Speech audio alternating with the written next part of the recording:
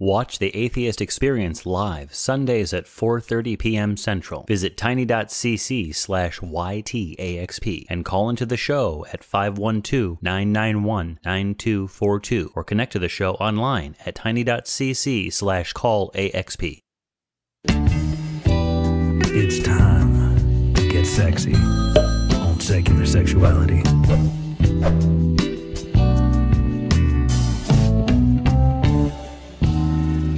Hello, and welcome to Secular Sexuality, the ACA show ready to get frisky and bone.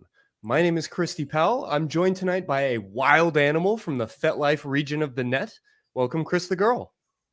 Hello. I'm glad to be here. yeah, so glad to have you. Uh, I'll tell you that uh, anybody who's watching this live, tonight's poll asks Have you ever felt lost in a role play? You can weigh in live or catch the results near the end of the episode. And in the meantime, we're grabbing our collars and our leashes for a couple of scritches. So give us a call with your stories and questions. We're at 512 991 9242 or tiny.cc slash call sex because the show is coming right now.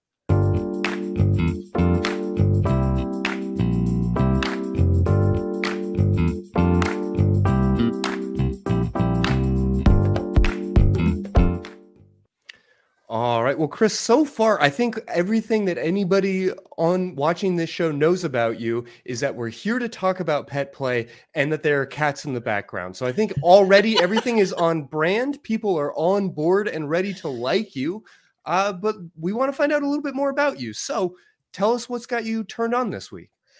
Um, well, other than the usual, very involved in my uh, local community of Kinksters and BDSM, uh, I have been very excited about uh, the Vox Machina, Legend of Vox Machina TV show. Been keeping track of that.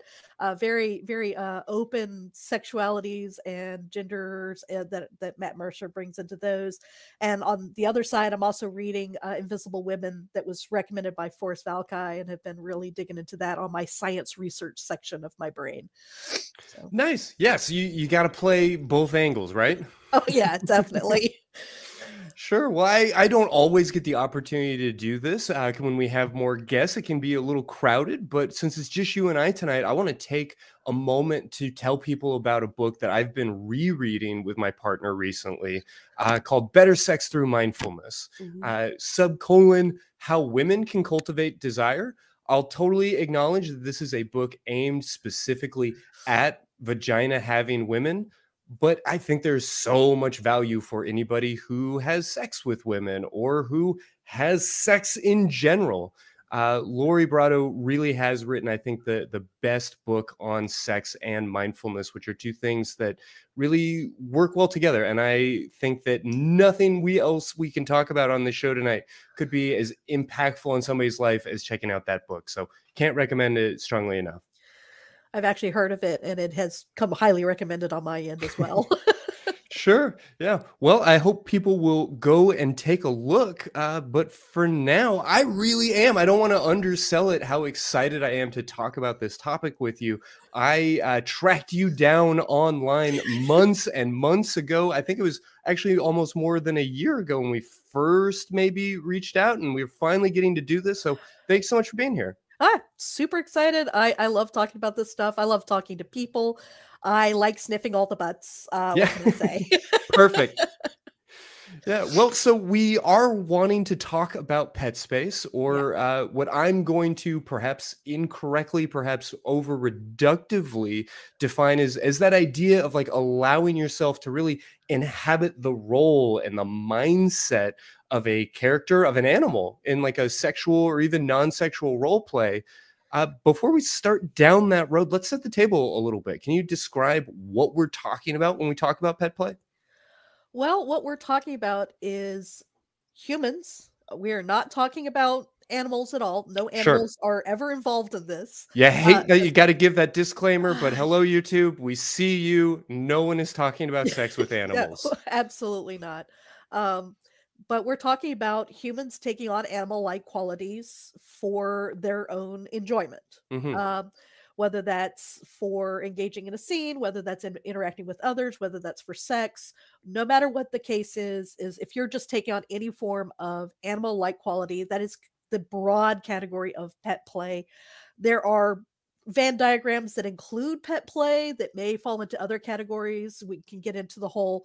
I have a large poster with all sorts of Venn diagrams with furries and primals and what have you. Uh, but generalized. Um, so, however that may be, however many characteristics of an animal you may take on, that's up to the individual. Sure. So, I mean, is there a meaningful distinction between uh, role playing as cheerleader or sexy nurse or secretary or any of these other, you know, Yandy Halloween store type fantasies? Is there a meaningful distinction between that and role playing as a as a wild dog or as a, a cute little kitten? Um, when you come down to the brass tacks, no. Uh, Sure.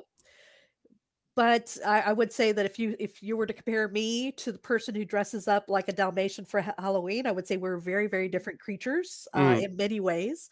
Uh, they're Dalmatian. I'm a Husky. That's a very different distinction there. uh, but they uh, we tend to get into it more for the uh, escapism, Mhm. whereas is, there is a lot more for uh, playing and playfulness that happens with more of the bedroom casualness of of just putting on a sexy kitten costume. There's nothing wrong with that. That's fantastic. I love it. It's like the difference between when we were talking age play, the difference between the sexy Catholic and the person who's engaged in regular little play. Mm, Uh, it's the same kind of differentiation. Yes, they're both age play, but they have very different connotations for the individuals when it comes down to it. Sure. Yeah. So I, I think that sort of at first blush, probably a few different images or ideas jump into people's minds. Uh, something like a, a leather cat suit and a whip, or like a cheetah print sexy lingerie. Uh, Sexy outfits aside, how does actual pet play differ from some of the assumptions people might make? Uh, I will say that some of the sexiest people I've ever seen have been in pet play. They have been in leather cat suits. Sure. Yeah. but they were Valid. not holding a whip. they were the most cat-like creature I've ever met was a person. Um, Mm. She like personified, pun intended, everything to do with cat, and she was in the sexy suit. But most of us who are involved in pet play, it's going to be more for the mentality, the attributes we take on, not for necessarily the sex appeal for the other person. It Mhm. is more how those people perceive us. The most more we can get into that pet uh, personality that we get into. So if I'm wearing something that makes me feel like a dog or feel like a bird, that's something I'm going to definitely more aim towards, even if it doesn't necessarily look as appealing to the outside world. Sure, sure. So it's less uh, maybe performative in that sense, more uh more escapist. I mean, I I know Yeah. that we're painting with really really broad brushes about very personal and very intimate generally experiences.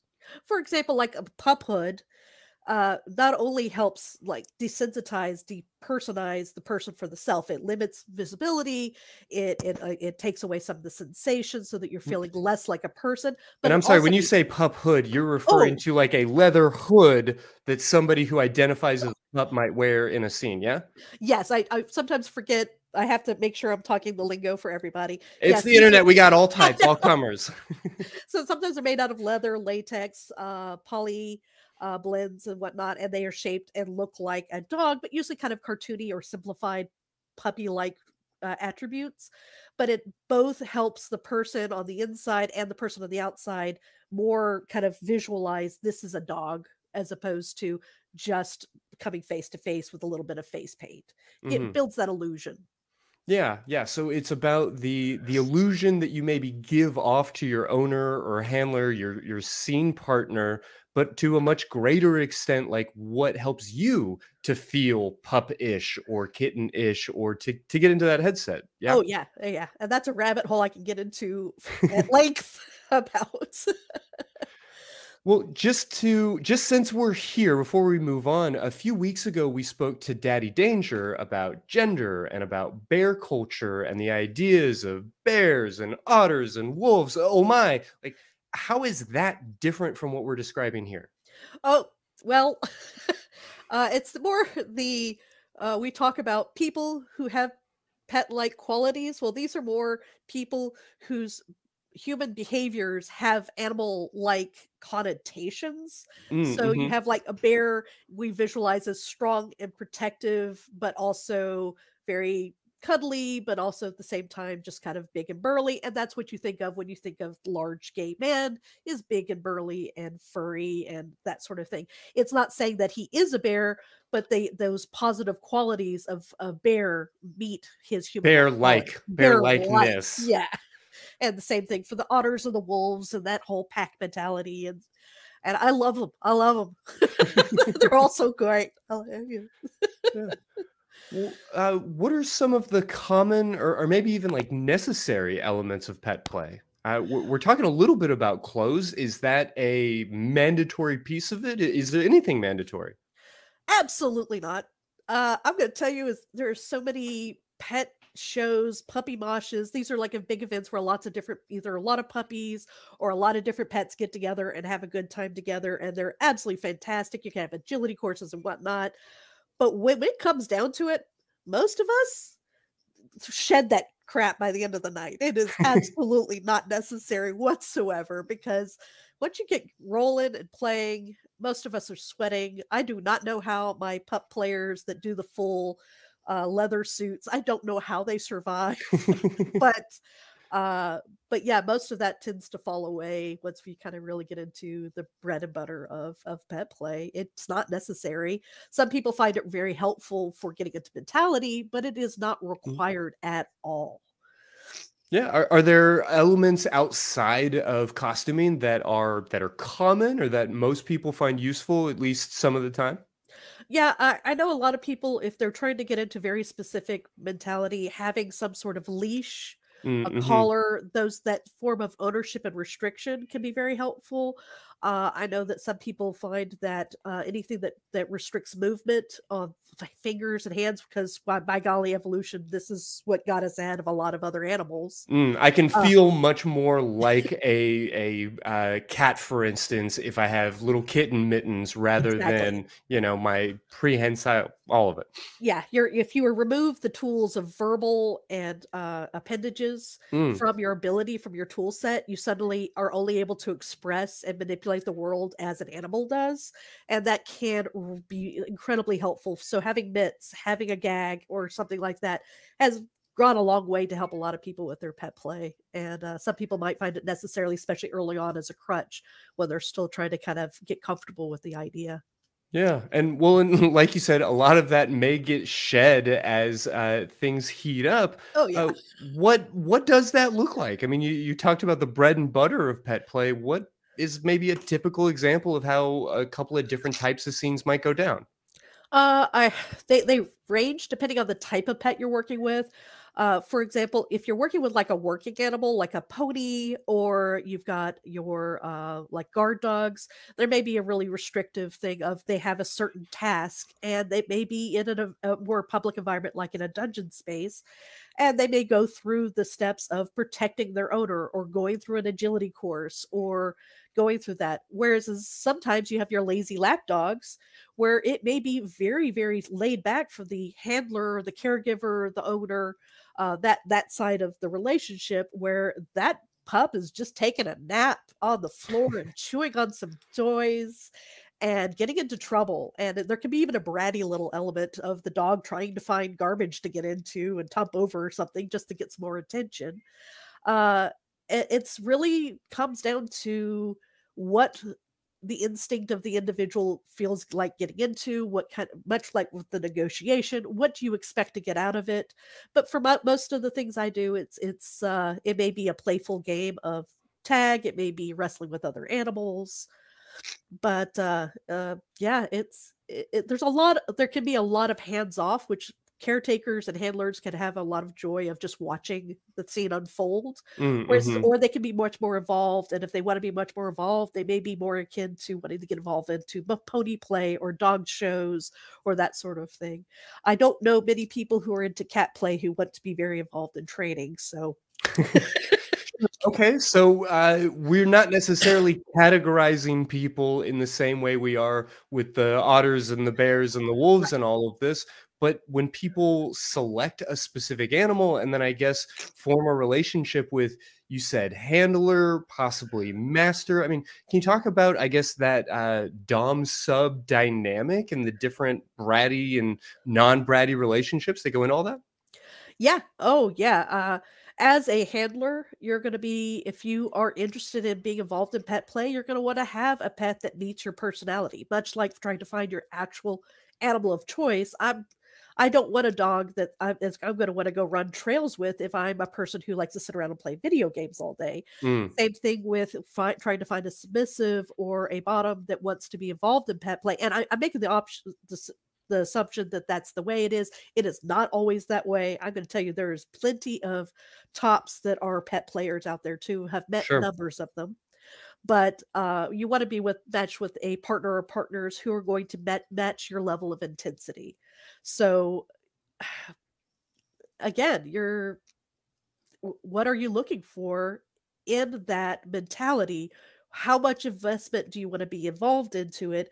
Do you want to still be able to have a conversation with your bottom when they're in pet space? Some of them, mm. some people like to have the the neko, the the cat girl mentality of they have cat like qualities while still being able to be a person mm-hmm. and they mm-hmm. like to be able to purr but also sit around and play games to play video games together that sure. may be the only level of involvement they want to get into with that type of pet play it can and, still be really immersive but oh, in yeah. this place we're you know i guess role playing as some sort of like cat person hybrid I, I know how silly all of this sounds in isolation but silly doesn't mean frivolous. It doesn't mean insignificant. Yeah.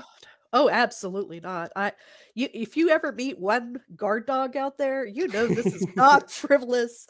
Uh and, and, you know I know that you've talked to uh um the uh you were talking about talking to the to daddy about about the bear culture. Mm. There is a very strong leather pup culture out there and they are very serious. Yes, they're silly as fuck. Excuse my French. But yeah, no, please. God, they are some of the goofiest little pups out there.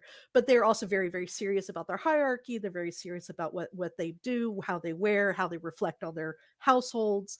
And uh, you know, it's uh, I'm envious of that kind of structure that they have. It is mm-hmm. fantastic. It is not for me, but it is I, I, love my leather lifestyle but leather pup is like a whole nother level y'all. It's mm-hmm. wonderful.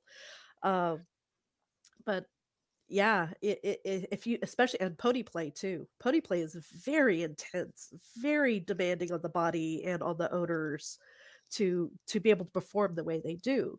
Um, and sometimes it's not even intentional seriousness. Uh, I, I have done some sled dogging. I, I as a husky, I do like to get in front of a sled and, and go. Now my sled is as a converted wheelchair, mm. but uh, I will work until I went to black out if if someone wasn't around to stop. That's how intense we get into it yeah uh the the idea is that you are so committed to that mindset and then i suppose also trusting enough of your handler your scene partner that they're going to be uh, that they're going to be able to take care of you that they're going to be able to sort of oversee some of the eh, the support that you might need in that space. Oh, yeah. I i i would I have I have uh, scared handlers before with the amount of water I chug down after a good play scene. Sure. I'm in Birmingham, Alabama. It's never cold here. do not know how the furries around here do it. yeah, no, that's fair to say. Uh, kink your pick your kink and your weather. Uh, so I I recognize that there is no exhaustive list. I mean, we are describing this as a uh, personal fantasy, and everybody's fantasy and situation is going to be different. But what are some of those broad categories? I mean, are are huskies like this, and ponies are like that? I mean, is there anything that we should be looking at? Um, I I I hate categorizing things. Sure. I'm with you on that. Uh, but yeah, you you typically will have your your pet players, and then that's separate from the pony players, which is separate from the leather pups. Um, and they tend to overlap a lot. For for example, I, I attend Frolicon almost every year. It's a big convention in Atlanta, and we have a whole track of pet play events. And one of those is a petting zoo. And if you want to see the clashing of all the different types of critters all at once, you go to that pet to, to the petting zoo. and we will have the leather pups in one corner tussling with each other, sticking their nose up kilts. You'll have the pony players over there taking sugar cubes from some littles, and then you'll have the pet players who are is a squirrel, a cow. I've seen a velociraptor, uh, and uh, and a sundering of dogs, and they're all just chewing on things and chasing after things, and they can coexist very very well. Uh, and, but again, it, uh, when we were talking about er- handlers earlier, we were talking about what is the intent of your pet play, and that's where the biggest kind of categorization is. Are you looking for your more casual, frivolous silliness that is just having a pet and domestic household animal? Are you looking for a job, a dog with a job, or a pony with a job? Or are you looking for something that's more of a, uh, a hierarchy of a pack mentality, like you would with the leather pups? Mm-hmm. So, and of course, there's all sorts of niche genres beyond that. Of course, Yeah, well, and dragons and unicorns and and every other conceivable fantasy that people are fantasizing about. Oh god, the cows. Cows have their whole thing about being milked. It is a thing, and I I love that they have a thing. God bless them. Yeah. There was a proud cow at Pride this year, and I loved her. She was just just having a great time. Yeah, so I I guess uh, that is a question worth exploring. I recognize that there is uh, a meaningful distinction between kink and gender and orientation and, and all of these different kinds of things. But do you imagine pet players as being just automatically, by virtue of their kink, part of the queer community, however we define that? Uh automatically, absolutely not. You Sure. you choose you choose what a chair is. Uh, but most of the time, yeah. I mean, we're we're not doing something that is um we're doing something that's kind of taboo, something that's not Mm. considered normal. Once you get past a certain age, you stop pretending to be a kitten. I mean, Sure. it's really great when my four-year-old niece does it because you know make believe. But once you're an adult, getting down all fours and meowing is considered uh if you, that's that's something you punish somebody with. Yeah. Yeah, Uh, that's a humiliation. depending on what form of the word queer we really want to Yeah. use, it's been applied to mean such things as this plenty of times. And so yeah, it, it tends to be if you if you think alternatively, you end up in the alternative lifestyle. Mm, and thus you end over on the the BDSM, the kinky, the queer side of of the universe, and we just kind of yeah, that's a good place to be. For me, I kink came before my pet, so uh, Mm. I I that was an easy place for me to be able to explore it. There wasn't anybody else showing me how to do it. Uh, I just kind of like I, I've heard of things, I've seen a few things on the internet. I'd like to try that. I was fortunate to be with a community that was like, okay, tell show us what you want to do and i was like gave, i gave it a try and next thing i know if you build it they will come more pets started coming out of the woodwork and i was like yeah sure let's talk about it let's let's see what works yeah. Well, so when we get down to it on a like a personal, on an intimate level, the outfits, the activities, the the tail-shaped butt plugs, the knee pads, the laser pointers, balls of strings. I mean, all of these things are here to help to create a a particular mindset, a, a particular headspace. yes definitely creating that illusion of being an animal uh the knee pads I, I always tell people you are not an a, a bio dog we that's how we differentiate between the pet play dog and the and the Oh, bio dog. dog Okay, you are not a bio dog. You are a pet play dog. you are a pet play dog uh, because you're not going to say you're not a dog because that's kind of not true Sure. Yeah. there's some aspect of it and so there are some people who are more have more essence of the animal or animals that they attribute to themselves than others and we don't want to dismiss or disregard that um, but uh, but you in, as you were born as a human. And there's certain things your bodies can and can't do and one of those is spend excessive amount of times on your knees. Hmm and therefore we want to be able to spend as much time as comfortable in that headspace and so knee pads are necessary. So there are certain things that are necessary if you want to have extended play. Hmm um, and uh, so much like food please I, I, here's my, my my big warning to the audience. As cool as it might you might think it might be to have actual dog food do not subsist off that stuff and please don't eat it if you're not absolutely sure that that's going to be okay and safe for you to consume. Uh, it does not meet our nutrition. There's stuff in that that can tear up your system. We are not biological dogs but i'm going to tell you Yeah. we got really creative. I've got a whole list of of recipes that can mimic pet food that's actually just human safe cons- for consumption a lot of it's like hey just get a can of chili you know Mm, mhm. that stuff's barely human edible anyways Yeah, but So, but all yeah. of these things, I mean, being on all fours and licking milk out of a saucer, all to get into that headspace. I mean, Yeah. I feel like we've been circling around it for a half hour. What how do you describe that headspace? What does that really feel like for you? Ooh. Uh it's uh it's a letting go. We talked about Mm. escapism earlier. Uh it is engaging in a place in your mind where you can follow more instincts. Uh, a lot of primal players will talk about that following that just fight, flight, or fu- uh, fuck mentality, right? So you have that in- intense of it, but it also allows you to put everything that is the stressors that are human and Mm. put them behind you because you can't you you can't take care of taxes. You can't worry about whether or not your room's clean when you're a puppy because those are outside of your scope of ability to do. Mm, and so mhm. some for some people it's an intensive escapism. Sometimes it's just the i'd like to not think for a few minutes Yeah, yeah. So, like when we talk about caregiver little relationships, and oh my God, how great would it feel to love somebody who takes care of you and who, you know, allows you to not feel responsible for all of the adulting you have to do in your lives?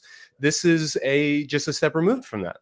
Oh yeah definitely and you're going to find a lot of overlap between your littles and your pet players. Mm, Uh, there's a lot of uh, there's even the uh, baby furs and so on and so forth.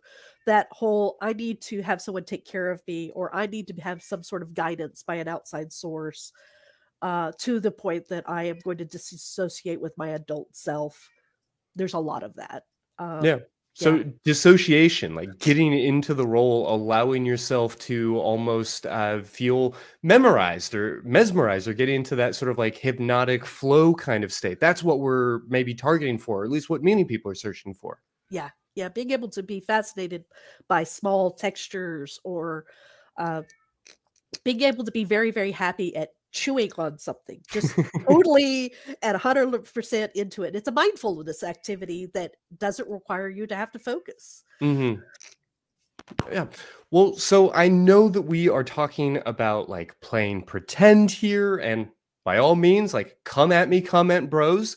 But as we've already said, playing pretend, being silly, recreation doesn't mean frivolous.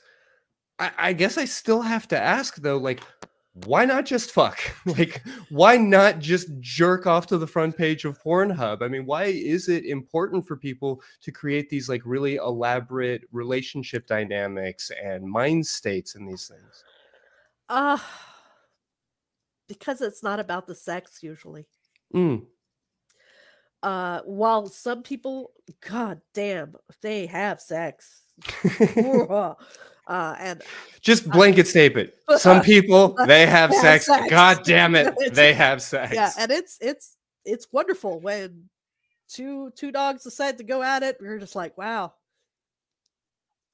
you you you kids have fun but a lot of it is more about that that's just a natural instinct of the pet place this is about tickling a different part of the brain Mm, mhm.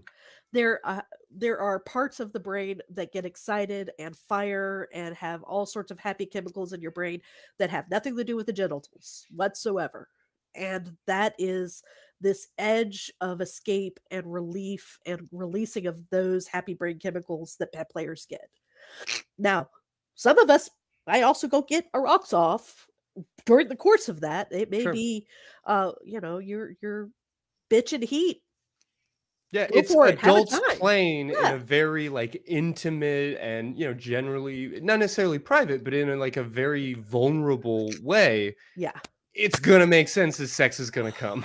and and uh you know there was uh, all all things off the side i was in a pup pup play mosh pit there was a doberman that came over and he wanted to it, it get into some intimacy, and I was not having it because, well, I uh, didn't know this Doberman. You know, yeah. afterwards, I was like, I saw him take off his mask, and I was like, God damn it, why did I say no to that? but Sunshine, my which is my pet play name, Mm. was not into it. Chris might have been, but Sunshine did not want to have anything because she felt vulnerable. This was not a safe place for her. So, Yeah. Yeah so how how do you relate to this part of yourself? I, maybe I shouldn't speak for you, but I, I guess I want to clarify that like we're not talking about some sort of like dissociative disorder any more than somebody who is uh, you know performing in a play kind of gets like lost in that state. But this isn't somebody else's script. This isn't somebody else's writing. This is like a meaningful aspect of you yourself. Uh, can you talk more on that? Yeah, absolutely. Uh it's it's like giving part of your id and your and your super ego a, a name. Mm, Uh, Right. So and and putting fuzzy ears on it. Uh, you're indulging some base part of yourself that can just play or follow rules or or uh, get lost in, in sex or something and giving it a a persona personification of of an animal and mine happens to be a a very lazy husky that uh likes to chew on things on occasion and uh pulls a cart on occasion and i it is not a sexual part of me it is a very just joyful part of me that definitely kind of uh, gets me back now even in my deepest sets if there was a fire in the room i would get up on two legs and leave leave Sure. Yeah. and I'm, I'm able to to disassociate and then reassociate pretty quickly if there was an emergency Yeah. If we but, if we if we were like talking about it in that mesmerized, hypnotic flow state kind of terms, all hypnosis is self hypnosis. Nobody is able to like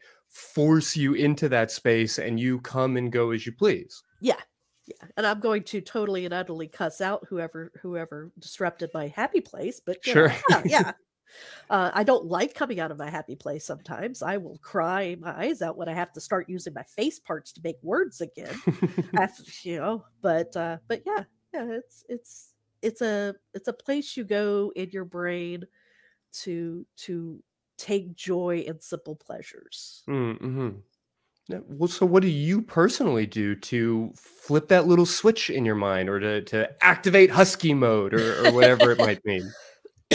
well i i can do it myself i prefer to have a handler i but i have gone into pup moshes by myself before uh and typically though it is a a some sort of of i'm not going to be talking this is kind of like it's time to stop talking and Mm. it's time to stop using your thumbs so if i can get mitts those are the two big things let me take away the two big things that define me as a human uh That's your that's your method acting me- strategy, at least to start. Yeah that's let me take away that evolutionary stage of of my development. Um and and uh and usually it's it, uh, yeah i like i like having the accoutrements the furry ears the collar the whole that it's it's getting dressed is kind of that putting on the persona of of sunshine. Mm, and that mhm. helps. Now it might be shed a few moments later when i get too hot but it definitely helps to put the stuff on um at least going through that ritual a little bit or even just giving yourself an opportunity to focus on nothing but what it is you're here to do. Yeah and and it's it, hearing someone call me sunshine is definitely one of those that helps me get into that mindset as well being having that different name altogether not Um, because of any magic of itself but because of i suppose the association like you've been in that mindset you've heard that word and it's just been reinforced and reinforced very pavlovian situation uh, Mhm. of of these things mean pup time and you do it enough and you'll you yeah you, you you've got some flip it. dogs with watering mouths yeah yeah definitely Well, we definitely want to hear everybody's questions about this topic. It's one of those things that I think is uh, more straightforward and more like accessible than a lot of people realize. But also, as we are describing, like, you know, puppy mosh pits and, you know, the uh, group organization of sex and these things, I know it can scare people off. So if you are curious, if you are concerned, please give us a call. We're at 512 991 9242. We're going to jump back into the conversation here in just a moment. But first, let's take a quick look and see what's been going on around the rest of the ACA. Lubrication. We preach this a lot here. It's great. Use it. Lube is your friend. How can I reason when an atheist believes they share a grandpa with a chimpanzee? I, I don't believe that. I, I, You- I- Nobody I- believes that. the Pope saying that homosexuality is not a crime. And I suppose we can call this a step in the right direction. I don't know if I should actually start singing Step in the Right Direction. You threw me off by jumping into hard solipsism because that, that's not somewhere I was going to go into. Uh, uh, I'm constantly unconvinced about your existence, Richard. I don't know why. I'm sorry. Jo- Johnny, when you commit sin, don't you feel kind of bad and kind of? I don't think I've ever committed a sin in my many years walking this earth. Have you ever looked at a woman with lust? Oh, yeah.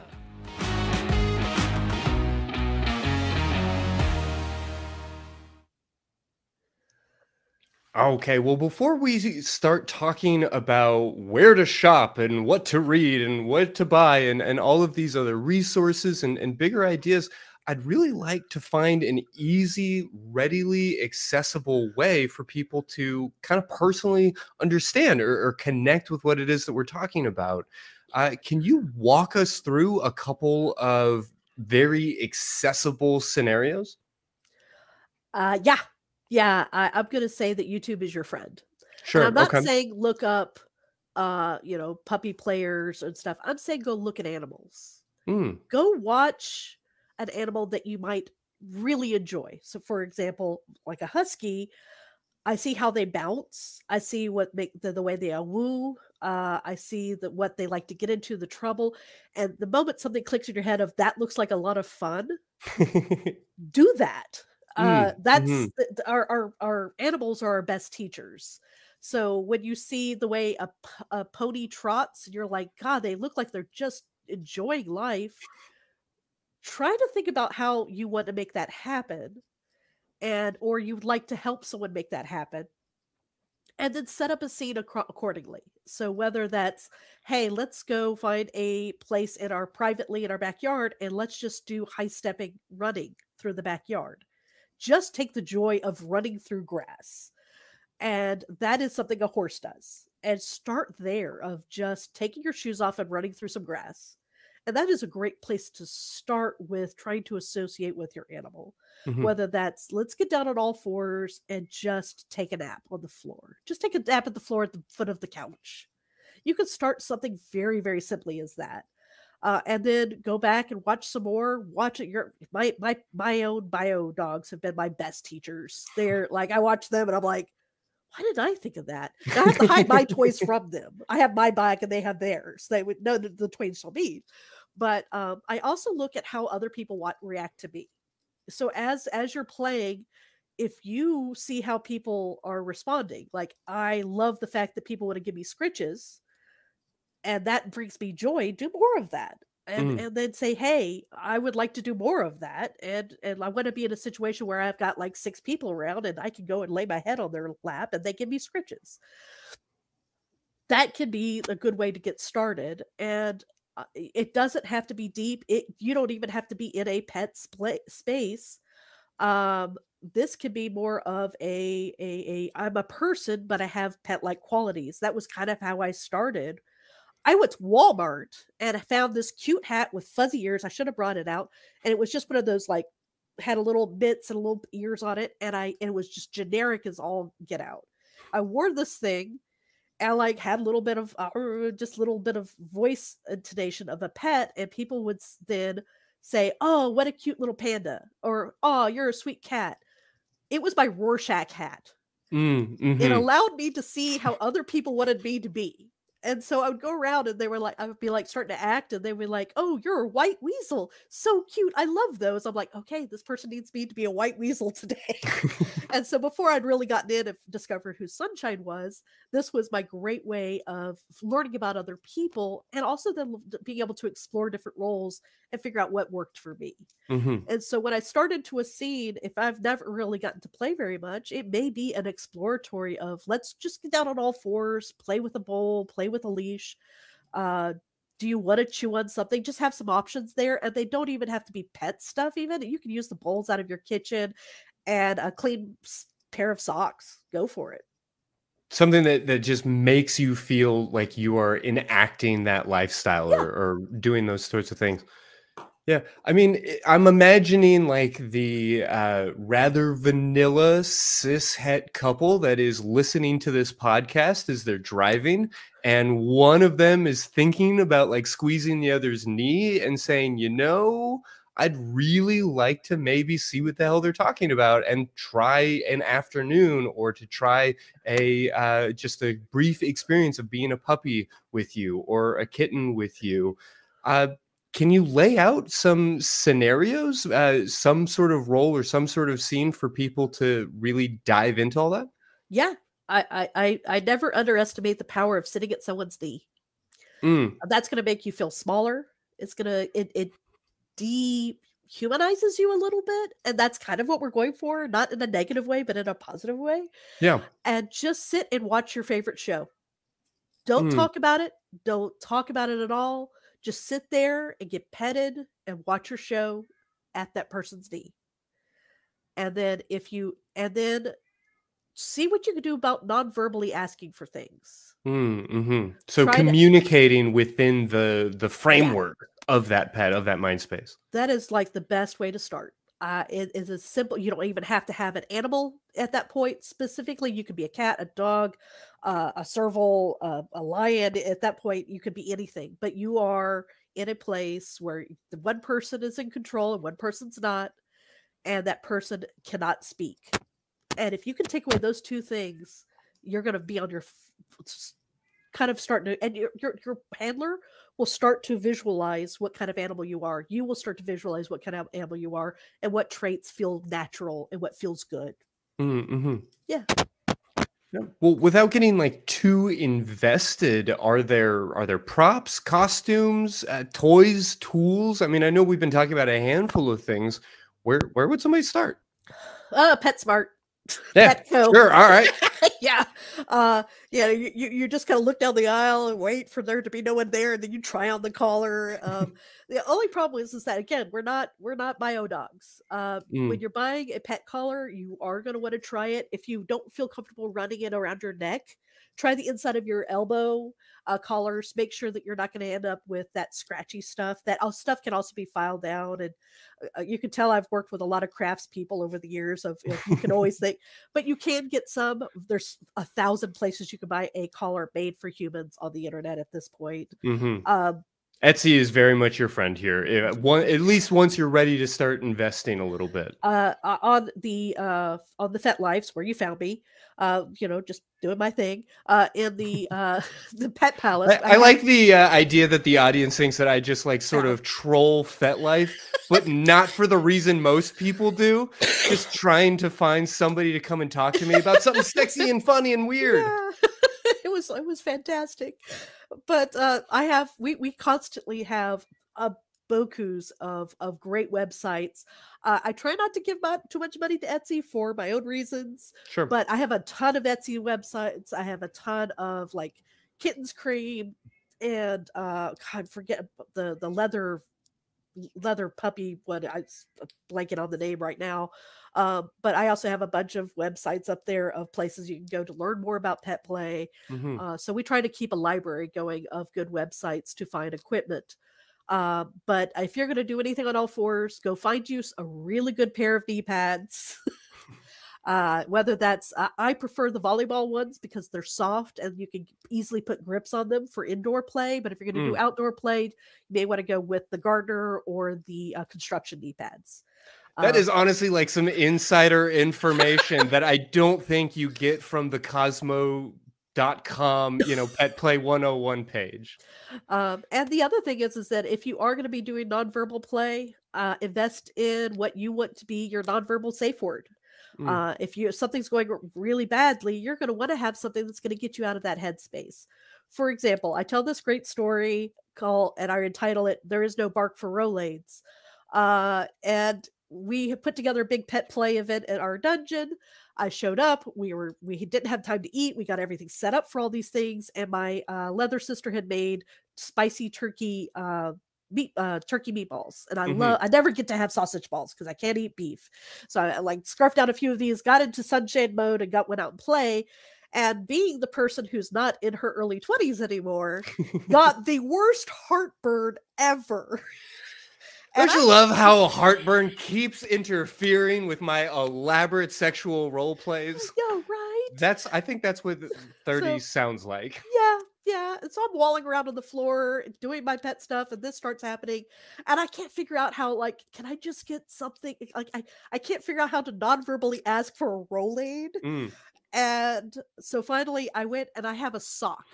I just bring my handler a sock, and that's my signal of, can you please help me get out of puppy space? Mm, mhm. and then they'll coax me out of it. We'll we'll start making me use my thumbs. They'll ask me open-ended questions, uh, asking questions that aren't yes or no, ones I have the actual formal Form like verbal cognitive Yeah. thoughts around. Yeah, wh- where where would you find your pants? You know, like they're in the locker room. You know, um, and then as soon as I got out of it, I went fucking heartburn. I need a Rolaid, something awful. And they're like, oh, Sure. "Oh, I'm so sorry," you know. But it's it's a it's you're gonna encounter things you hadn't thought of, no matter how long you've been doing this. And B, you always need to have a nonverbal way of getting out of it, especially if you are those people who are going to want to take away that safe word. Because I am not going to be one of those that's easily going to come out of it Mhm. and I know a lot of people would feel uh, there. There's always that subconscious of I'm going to ruin everything if I if I start talking when I'm in pup mode or am I in kit mode or whatever. So having a easy non-verbal. Some people bring a certain toy. Some people bring a stick, uh, or- they may come over and if they tap the left late knee, that's their non their their non-verbal safe word. For me, it's easy to find a sock, whatever sock. I just bring a sock. Yeah. Well, so I, I want to make sure we're all understanding what you mean by by coming out of it because I guess the comparison that I'm making in my mind is no matter how deep I am in meditation, if the smoke detector goes off, I'm going to get out of there and I'm going to be just fine. At the same time, at the end of like 20 minutes of quiet introspection, I appreciate like a soft, gentle gong and a slow, like moving of the fingers and, you know, slowly opening the eyes before just like jumping right back into into regular life. Is that at all what you're describing? Yeah, I, I as someone who's also done quite a bit of meditation, I it is very very similar. Of of it, it's a place that I don't want to let go of, um, and I really am very comfortable there. And so there may be a, dissonance in the brain of you need to come out of it, but you don't wanna. And Mm, so mhm. so the the part of my brain that's like, hey, no, you're in pain. you need to stop is fighting with the part of my brain but what if we just didn't Yeah, sure. Yeah. And, and it's worth noting that a lot of this, like, we want everybody to be safe and sane and consensual and, and all of these kinds of ideas. But pain and degradation and humiliation, I mean, all of these things are not necessary, but are at least very common elements in what we're discussing. Yeah. oh yeah definitely i i yeah it's it's a simple matter of stay safe but there, there's nothing restricting me i could have just stood up and, and walked and gotten a Rolaid but there was there's that part of your brain that switched at that point that makes it very difficult and for some people it could be detrimental if they didn't have a nonverbal way to come out of it hmm Well, and and they wouldn't be in that position. They wouldn't be in that headspace if they didn't feel like they had a handler, a caregiver, somebody who was willing to take that burden off of them. And that's you know just to make it full circle. That's part of why we're here. A good part of it. Oh yeah, and and of course, whenever I am doing it without a handler, I never get that deep because Sure, I don't okay. feel that safe to be able to go that deep. There's nobody looking over your shoulder to make sure it's okay to be that invested. yeah, if I'm just around around like in a puppy mosh and there's no person specifically designed to be there to watch keep their eye on me, nah, I'm not going to get that deep. I'll, I'll I'll goof around, but I can easily just stand up and leave. Yeah. So, well, so yeah. We we haven't really talked much, I guess, about that that caretaker, handler, owner, master role. I mean, is this just a a trip sitter, somebody to like look after you and make sure that you're having a good time while you're in this experience, or is there more to it than that? for me it's uh it, it- again it's akin to that caregiver for a little of they it, it ideally is somebody who takes joy in you being a puppy Mm. uh i um when i was getting started i had my leather sister also had a little space and she would be the little girl and her puppy and that was how we played together. Hmm and sh- and it was a a place of she took care of her puppy and she took just as much joy out of that as I did of being a puppy. And so even if if the same thing as as I take joy in having my own dog so does the handler it it is Mhm. a a joy and a pride and anybody who comes over is like oh you have such a pretty dog or they look the funness of throwing a toy and sometimes it's as simple as watching a show with somebody at your side a companion with you um, it could be the person who is if, whether if it's a working animal it could be that you are uh, i've had someone who had a social anxiety and their their uh, their pet was a guard dog who went with them to help cope with their social anxiety Mm, and they mhm. took on it as an emotional support animal which i'm abs- absolutely ecstatic a friend of mine is making me an emotional support vest for frolicon this year so i get to be Mhm. an emotion since i can't do the, the the puppy card this year i'm going to be an emotional support animal and as somebody with a background in psychology that'll be great so so uh the handler gets out of it the the same joy that someone would if they had an actual uh, uh, a bio pet Mm. um and knowing that that person also gets their own joy out of it um yeah yeah and sometimes it's very very simple just make sure they're hydrated that's all you got to do and Yeah, you got to make sure they're hydrated. Let them outside from time to time. Make sure they get a little bit of exercise. Oh, time yeah. in the yard. uh yeah Yeah. Well, okay. So you you warned us about protecting our knees, about uh, you know safe words, and and what that might possibly look like here. The importance of trust with your handler, and some of these other things. But what are some of the other uh, warnings or, or safety concerns that we might not assume or might not think about in order to do this in a way that not only is safe, of course, but that that feels safe, that allows us and empowers us to get into that mindset.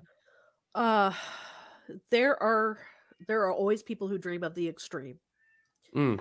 and uh i'm going to tell you that the body can't handle that uh between the psychology and the physicalness of being kept up in a for example a ken- dog kennel for long periods of time is not feasible for the human body Mm.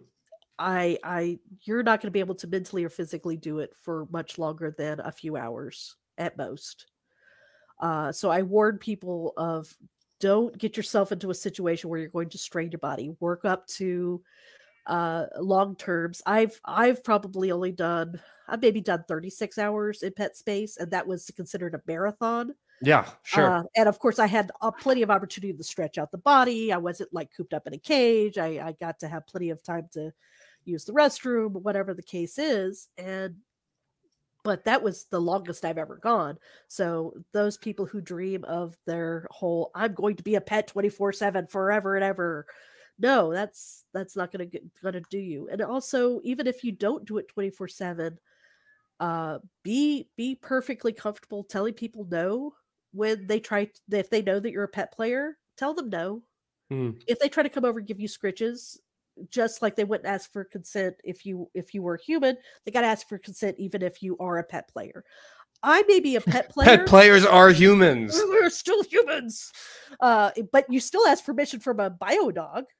I don't just go over. I would like dog. to hope so. That's not always the case, but it should be, get- right? That's how you get bit, y'all. I, I yeah. But also this puppy also does a lot of other things. I I'm also a uh, do a scarification. I do branding. I do uh, talks about psychology and sexuality and all these other things. Please respect me for my whole person. Mm, mhm. Sunshine hasn't showed up today. This is Chris. I have to remind people this on a regular basis. Oddly enough, I I, I have to. It, it- there's a lot of learning. The other the other last thing I have to warn: if you get into pet play, you're gonna get gifts. And you're gonna end up with shirts that have dogs on them. Uh, uh-huh. You're gonna get chew toys for Christmas. You're gonna end up with kitty charms out the wazoo. Just like the littles end up with 45,000 coloring books, you're gonna get toys. Just be prepared for that. but on the on the more serious side of of don't just remember to put your foot down and, and, and demands consent and also don't push your body past what it can do. Sure, sure. Yeah. Well, and I, I like uh, uh, Dan Savage's try everything twice philosophy here. Yes. Because don't commit yourself to like 36 hours in a kennel. commit to trying being in the kennel twice and maybe for the first time for an hour for, you know, some undetermined up until I can't anymore type Yeah. of level. And we tried lots of things. I've tried large kittles, small kittles. Uh, one of the things I discovered was is no mirrors. I don't want mirrors. Uh, that breaks me out of the mentality because what I see is not what's up in here. Mm, and so mhm. there's a lot of that. Um, uh, uh, uh, it's not quite body dysmorphia, but it, it is a, a a visualization and and mentality of that headspace that by uh, seeing yourself breaks you out of that headspace. Much like having at least having the pup hood. If you were to see you, you see a cartoon dog at the very least. But if you darted in the pup hood, I would see a human on all fours, and that's not what I see in my Uh, head. Yeah, I mean, Yeah. is it fair to call that dysphoric? It is very. It will knock me out of space pretty quick. Uh, I, mhm. t- I will. I, my my uh, handler at the time thought it would be really nice. Let the pretty puppy see herself, and I said, "Well, we learned that's not gonna work." I said, Sure. So- "I know that it came from a place of love, but that's not gonna work today. Let's not let's not do that." so we we do a lot of that, and it's little things can trigger, just like a dog if you were to accidentally step on their foot, they may have may think that they've done something wrong. They're not going to be able to associate that. For me, being sent to a kennel as opposed to being placed in a kennel had two very di- different connotations. I would done Mm. something wrong when I was sent, whereas as being placed, it was the we're putting you someplace safe for now. And those things can really play a big impact on your play, and you have to be able to forgive you and your handler for those type of responses because you really have no control over them. Sure. Yeah. Trust is earned, but it's also a credit that you have to extend. It's built collaboratively, and that's why you start small. Very please start small be able to to laugh at it make goof uh it's gonna be ridiculous and and, and that's okay. That's Yeah. this stuff is i laugh at myself all the time. What the hell are you doing? Why are you buying more pop toys? You've got 15 i'm like but but this one's cut this one's shaped like an avocado You you talked about uh, PetSmart as a good option, or you know, actual pet type products. Are there are there any caveats that you might associate with that? Any uh, bad stories or experiences of not getting like the handcrafted human pet, but like actually using the bio pet toy in a way that prevent caused the problem? uh well i will give you a tip of uh those things taste awful Mm. So if you get a rubber toy from the dogs from the pet store, uh, uh, rinse it and give it a good clean with uh, mouthwash. It will give it a, a take away that flavor. It's also a great way to disinfect it after play that isn't like just rubbing alcohol because you Mm, want sure. to because anything that's going to oral. But the most of your good mouthwashes, especially those that do contain alcohol, are really good for cleaning a pet toy before the first time and after each play. Mm, mhm. Um, but yeah, anything you might think might be cool with all those nibby bits. Remember, a mouth, a human mouth isn't as strong as a dog's mouth. So if you're playing tug of war with a dog or a horse or a cat, remember that you can pull a tooth out. So be careful when you're pulling out a toy because that can happen. And I haven't heard it happen, but it it can happen. Mm, so mhm. yeah. so yeah. You, you talked about solo play and about uh, you know watching these different like animal YouTube videos and and things like that. Uh, certainly, there is porn of this, and that Oh, yeah. is a way to explore. Uh, but are there um, you know are there erotica or particular things that you might recommend to people? Uh, YouTube videos or anything that kind of helps people get into the mood for solo play or to feel like they have a handler present with them? Uh, I. It it there there unfortunately there's not a lot out there. Mm. Anything that is uh, uh, uh, anything that's outside of pornography is harder to find. Stuff that's going to be akin to what you might want to be in to get into mi- mindset is is few and far between. Uh, so I, I Not a not a big user of like erotic audio or erotic hypnosis No. or, or any of these types of strategies to get into that place. there's not a lot that I know of. I'm sure it exists, but I haven't been haven't had the privilege of getting my paws on it. sure. Uh, so, uh, but I do do what like there are a few videos out there of uh, videos of people doing the agility courses uh, Mm, for pup mhm. play. There are a few, few puppy moshes that are out there on YouTube. Uh, so if you want to feel a little less alone, uh, those are really good ones to put on to watch other people go a woo. Uh, there are also some uh, some pretty good. Um, I'm trying to remember her name. Uh, out of California, she does a TikTok and she does a lot of of of, of affir- affirming um, uh, uh, affirmations to fellow pet players and talks about those things. So there's there's a pretty strong TikTok pet player community out Mhm. there. So if you do a good t- search on TikTok, you'll find some great videos of of various pet players and handlers giving affirmations uh, on there as well. Uh, that is a great resource. And since it isn't explicitly sexual, uh, a lot of those tend to not be pulled down, uh, Mm, especially not mhm. right away. Even it happens. yeah, no. Uh, we're all as a society trying to figure out what we can and cannot say on the internet, and I I don't love a lot of the choices that we're making, but here we are. Yeah, yeah. uh, but here we are, uh, trying to to to make the best of what we have. Um, Mhm. and I, I, I uh, like I always say, the best thing you can do is get involved in your local communities. And if you if you there isn't one, if you build it, they will come. I I Sure. really very much if you get involved in your local uh, alternate lifestyle community and you start saying, "Hey, I'm into this," you might find people are there. They just were a little hesitant to come out about it. Um, same. That's what happened to me, and I'm I'm now on a radio sh- YouTube channel talking about it. Sure. Yeah. Yeah, I mean, are there uh, online groups or or Oh, yeah. ways for people to get involved that might feel a little bit less intimidating? I mean, any anybody you want to call out? Uh, I would say, yeah, if you can, if you are on FetLife, there are a number of great groups. Uh, we at uh, my, the one you found me on was through Pet Palace. Uh, it is exclusively for discussion. We don't do. It's not like a one of those uh, get Play space. Yeah, yeah. It's Mm. not a it's not a hookup site. It's where we post things like, "Hey, I'm having problems uh, with uh, my my owner wants me to be a dog, but I'm finding out not being a dog. What should I do? What are some good resources for finding collars for people who have back problems?" That's the kind of discussions we have over there. Uh, and it is is a full spectrum, and it's also where we're always posting resources, which is where you can go and find uh, that. Oh, Kira the Hound, I think is the uh, the the TikToker that just came. Kira the Hound. Mm, mhm. She is an absolutely fantastic pet player out of California. She does uh, just fantastic affirmations. You get a good, great look into the lifestyle of a female leather pet player. Uh, and she goes to lots of events and hosts a lot of events. So if you're out on the on that coast, that would be a great place to find uh, events. Is through her. Um, Kieran is got got to do an online pet pet mosh with her once and was like, "You're the coolest."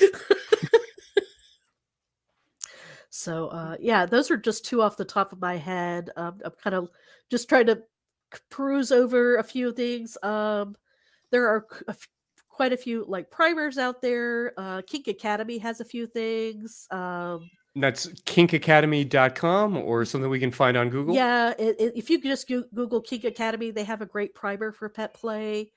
Um, but as far as finding good YouTube channels, unfortunately, usually they are not long lived. Um, No. So, but if you do good searches, you can. The problem is, is that when you start looking into pet play, you often end up with just you know, people showing you how to train uh, your Doberman Pinscher, how to Mm, fetch, mhm. yeah, How to play with a, a bio bio pet. dog, yeah. so we get a lot of overlap with that sort of thing. Yeah. uh, Any other books, podcasts, videos, uh, any other resources for somebody really wanting to dive into these sorts of things? Um, uh, there is a, a a book called Woof with an exclamation point. it is more specifically from the leather gay uh, perspective of pet play, so it definitely gets more into the sexuality of it than I Mm. do. Um, the sexuality of it is absolutely fascinating. Uh, there's a lot more about the the animal uh, animals being in heat, uh, the primal instinct to mate, uh, that sort of thing. So you'll get a good dose of that, which uh, there are a lot of people who do absolutely love that type of, of play. And there is, it is absolutely hot and y- y- go for it. Um, but that book is is is probably one of the few good published pieces, and it does come, but it does come from one very specific perspective. Mm, Uh, mhm. but yeah, if you could find a copy of it, it is it's not a bad place to start with various aspects and things to uh, keep in mind when getting into to pup play specifically. Yeah, well, I know we're getting close to the end of the show, but it does occur to me that uh, I, I haven't asked you much about that history. I, I know you don't speak from the perspective specifically of uh, gay men and Mhm. like leather pup culture and, and those sorts of things, but can you can you talk to us at all about where this comes from or, or what some of the cultural milestones are because i know i have no doubt in my mind that for as long as there have been people who have recognized that they are different than animals they have been pretending to be animals. And they have been pretending to be animals while having sex while having romance while having intimacy and relationships. So obviously this isn't new but modern pet culture eh, what can you tell us about where it comes from and where it might be going Well, uh, I would say that the modern pup play it definitely has a lot of of the uh, leather culture. Definitely the the submissive gay leather definitely brought about a lot more of the mainstream of pet play from a submissive perspective, as it being one of those levels and, and trainings that individuals go through when they're moving from submissive into more of a dominant role. That being able to to get through those levels of being a dog and that there is that strength of being a dog but also some subservience of that dog very much is a strong uh, a history within our current uh, pet play background Mm. but like you said you, you go back and look at some romans and uh, there there's there's pictures of dog play back in roman times uh, I've seen uh, there is personifications of individuals taking on animal-like qualities for religious practices, for uh, and spirituality. There is a whole bunch of of taking on animal-like qualities for both positive and negative aspects uh, throughout history, like you said. But the modern stuff is uh,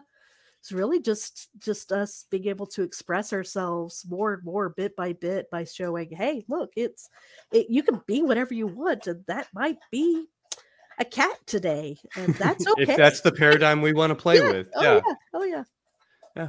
Well, and finally tonight, before I let you go, somebody in the chat said that I needed, needed, needed to ask you about electric shock collars.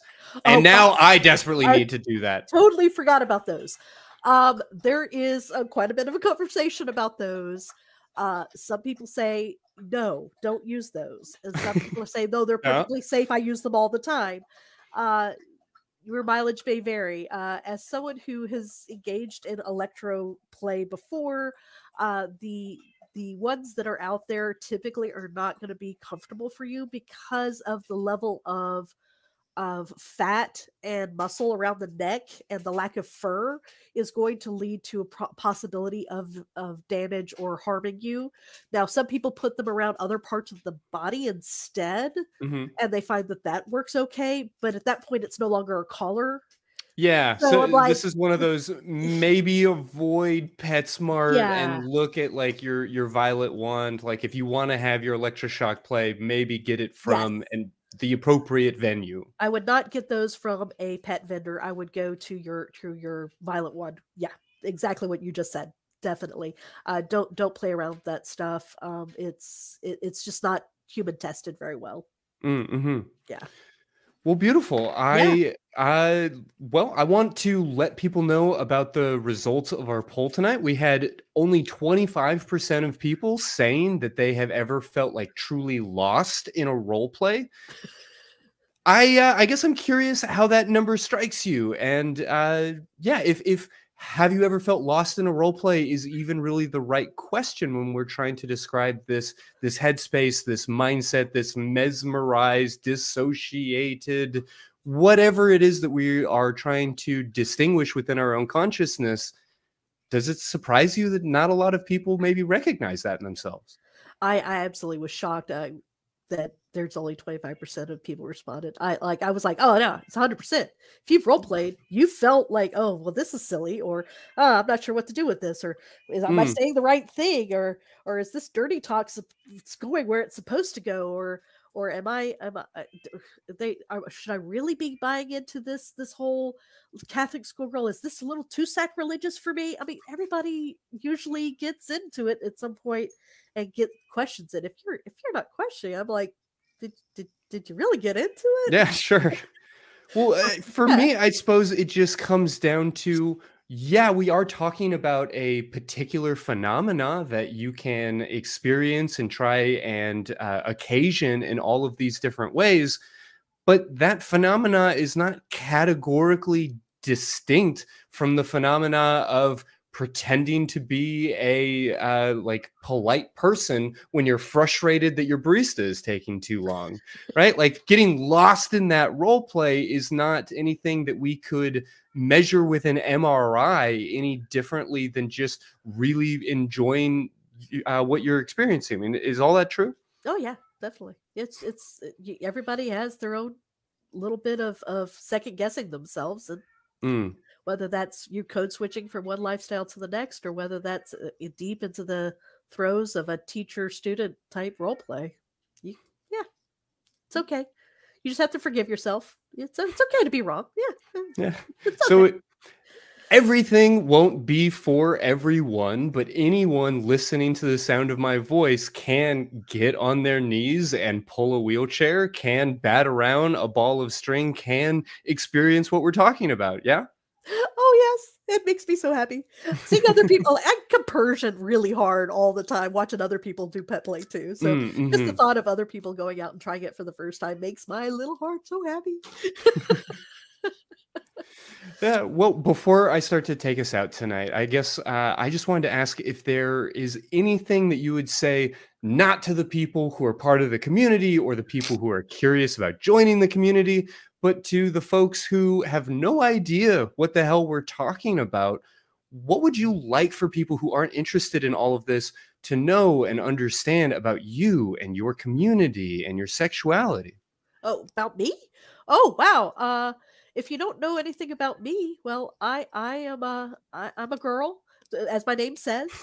uh, but I am uh, heavily engaged in a alternate lifestyle community here in Birmingham, Alabama. I have a background in psychology, and I bring all of my my powers that be to our home turf that is the Red Chair, and there is a safe place for us to explore on an educational level uh, all sorts of things that are kinky, BDSM, sexuality, pansexuality, leather, etc. And that is a good place that if you don't know anything, especially if you're in this area, uh, to to kind of dip your toe in and tr- give it a try. And there's there it, it's always best to try things with people who know what's going on and learn from people who've made mistakes and uh, like you know getting heartburn when they're rolling around on the floor. um, and so yeah, uh, uh, that's who I am. I'm here just trying to help other people discover things that bring them joy. yeah. Are are there assumptions that that quote normies might make about you and about your lifestyle? Or uh, anything that you want to ask for from I guess our culture, our community at large, especially knowing how sex negative and and confused we all are? Like like we've gotten all through this conversation without talking about Tucker Carlson and about uh, litter boxes in schools and all of the bullshit misinformation that exists about your community. Uh, anything you might ask for from the rest of us? that not we're not broken people. Mm. I had an absolutely fantastic childhood. I am absolutely in joy and in love with life. That there's absolutely nothing bad about my, what I'm doing. I harm no one. I and I uh, do nothing but try to make other people happy. There is just in general wag more, bark less, motherfucker. That's pretty much what it comes down to. Sorry, Jesus. Wag more, bark, Bark less. less, yes. Got it. Well, I think that's a, a fantastic place for us to leave it tonight. And uh, I do want to remind people that the show is always on, that uh, all of the shows of the atheist community of Austin are widely available on YouTube, but that you can also keep up with what's going on with our community on our website uh, by visiting. Atheist-community.org. You can email this show directly with sex at atheist-community.org or email the ACA itself with TV at.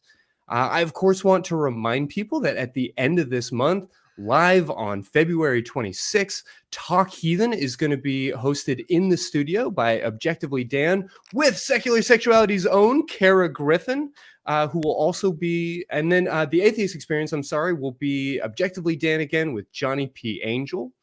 Uh, speaking of events that are going on here in the local Austin area, I want to ask that if anybody lives in Austin or Austin, adja- Austin adjacent, that we are in a great need of additional crew members for all of these shows. So if you are interested in helping with video, with audio, with call screening, or if you're able to attend a live show, please send us that email at tv at atheist-community.org.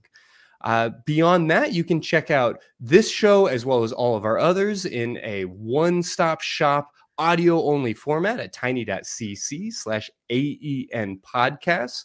You can find all kinds of great resources and conversation in the Secular Sexuality Facebook fan group, which you can find at tiny.cc slash fbssg, as well as the atheist community of Discord, which is available at tiny.cc slash acd discord.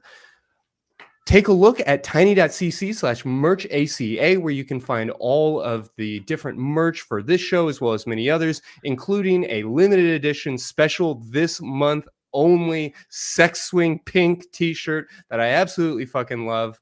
Uh, and finally, I want to take a quick moment and thank our incredible crew who was working on so many different pieces and struggling to get all of this together today. Thank you so much for everything you do to make us look good and to allow us to have these sexy, silly, ridiculous conversations. Uh, and finally, Chris, I, I guess I just want to ask if there are any sort of final thoughts or, or last impressions you want to leave with the audience tonight. I think we've uh, pretty much covered it with the uh, bark, bark less, wag more. Yeah, I'm- I'm no. just like I, I can't I can't do better than that at this point. That'll cover it. That'll cover it. So I guess I want to encourage everybody to go out there and bark. And yes, I apologize to check out Chris the Girl, find out more about her and her work at theredchair.com. And now I suppose you can grab your knee pads, maybe a ball of string, maybe some ears, uh, all of these different toys, a pup hood, a butt plug, whatever it is that prepares you to get into that very special mind state that allows you to woof instead of bark and to hopefully eh, give yourself a big old orgasm. Or better yet, give somebody else one.